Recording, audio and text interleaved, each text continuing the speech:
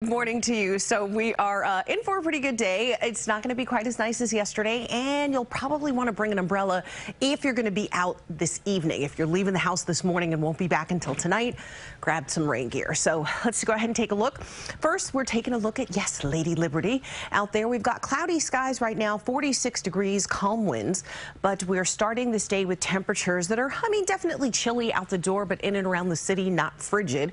39 for Staten Island, 40 for JFK, the Bronx 41, 48 for Jackson Heights, so a little bit milder there. But still, I mean, you you know, you need your jacket heading out the door. Uh, for some, still a winter coat. 28 degrees for Monticello, 30 for Poughkeepsie, so still cold there.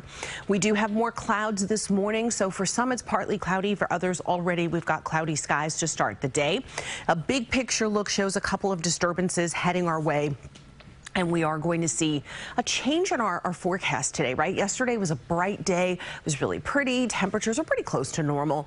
Uh, today won't be as bright, won't be as pretty. And like I said, we're probably going to end with some rain. We are also watching a system that is going to impact us. This is Thursday. This is a Thursday system that's going to bring us some more rain. So we start to see some rain tonight. We'll see more rain tomorrow. This is Thursday's rain. The problem with that is that it looks like it's still going to be raining at 105 when the first pitch is scheduled to go out at Yankee Stadium for the Yankees home opener. Right now, it is looking like rain is likely at that time. Temps should be right around 53 degrees. We, of course, will keep you posted. Want to turn on that future cast, though, shows you today's rain, right? So we start out this day. So we head into the afternoon. We do see partly to mostly cloudy skies. Could see a little bit of drizzle or some light showers. It really does look like the rain is down around South Jersey at 4 p.m. And then it's closer to midnight, 11 o'clock, 12 o'clock, we start to see the rain pushing its way north. And then eventually in the overnight hours, the rain fills in, becomes widespread across the tri-state area. We will see some pockets of heavy rain uh, with this, and so this is going to be a particularly soggy Wednesday morning. By 11 o'clock Wednesday uh, morning, late that morning, we do start to see most of the rain move out, and by Wednesday afternoon should be dry, not necessarily sunny, but dry. And then here comes that next round of rain, that system that we saw on Thursday. This is 1 o'clock, Yankees home opener.